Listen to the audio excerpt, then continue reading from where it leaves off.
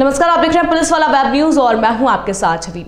उज्जैन के झारड़ा थाना क्षेत्र के गाँव बमनई में पिता पुत्र की हत्या का सनसनीखेज मामला सामने आया है। मंगलवार को दोनों की घर के भीतर एक कमरे में खून से लथपथ लाशें मिली।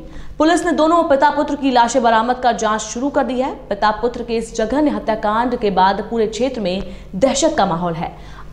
आरंभिक जाँच में पता चला है कि दोनों पिता पुत्र की हत्या धारदार हथियारों से की गई है। मृतकों के नाम नागू सिंह और उसका पुत्र विक्रम सिंह है। बताया जा रहा है कि हत्याकांड से दो दिन पहले मृतक विक्रम सिंह का विवाद अपने ससुर से हो गया था।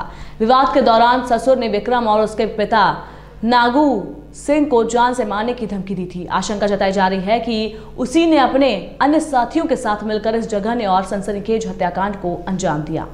सूत्रों के मुताबिक आरोपियों को जीवाजीगंज थाना पुलिस ने उज्जैन से गिरफ़्तार कर लिया है। पुलिस उनसे पूछताछ कर रही है। उल्लेखनीय है कि मृतक विक्रम सिंह और उसके पिता नागू सिंह का दो दिन पहले आरोपियों से विवाद हुआ था, जिसके बाद आरोपी ससुर ने उन्हें जान से मारने की धमकी दी थी और योजनाबद्ध तरीके से अपने अन्य साथियों के साथ देर रात घर में घुसकर धारदार हथियार से दोनों को मारकर फरार हो गए। वही जानकारी मिलते ही झाड़ा झारड़ा वहीं जानकारी मिलते ही झारड़ा थाना क्षेत्र पुलिस सहित उज्जैन से पहुँची एफएसएल ने मौके पर जाकर तफ्तीश में लग गई।